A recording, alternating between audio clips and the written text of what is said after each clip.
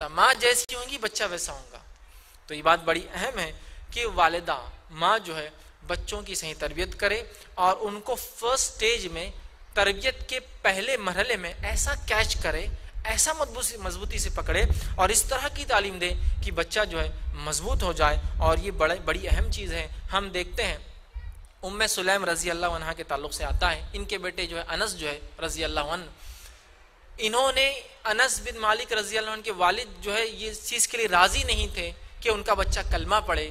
ایک مرتبہ جب ان کی والدہ ام سلیم رضی اللہ عنہ نے ان کے والد کے سامنے کہا، کہو بیٹے انس، لا الہ الا اللہ اور ان کے والد کہنے لگے، بیٹے انس، مت کہنا لا الہ الا اللہ انس کے والد کے نہ کرنے کے بعد بھی انس رضی اللہ نے لا الہ الا اللہ کہا۔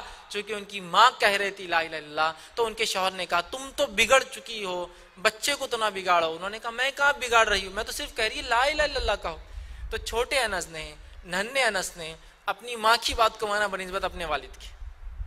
تو بچے جو ہے ماں کے عقیدے پہ ہوتے ہیں وہ ماں سے بہت ساری چیزیں سیکھتے ہیں۔ یہاں بہت ضرورت ہے کہ ماں ہونے کے ناطے ایک خاتون جو ہے اپنے بچے کو صحیح تعلیم دے، صحیح تربیت دے، خود بھی اسلام پر چلے، اس کے لیے بھی کوشش کرے۔ اور جیسے میں نے کہا نا، بہت مرتبہ دیکھا گیا۔ ماں اگر قرآن پڑھتی ہے تو بچے بھی قرآن پڑھنے والے، ماں نماز کی پابند تو بچے بھی پابند۔ اور بچہ تو میں نے کہا نا، چیزوں کو دیکھ کر سیکھتا ہے۔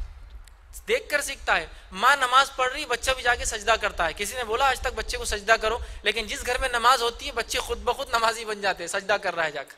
اس لیے کہ بچے بڑوں کو جو چیز کرتے ہوئے دیکھتے، وہ کام کرتے ہیں۔ میں ایک مثال اگزامپل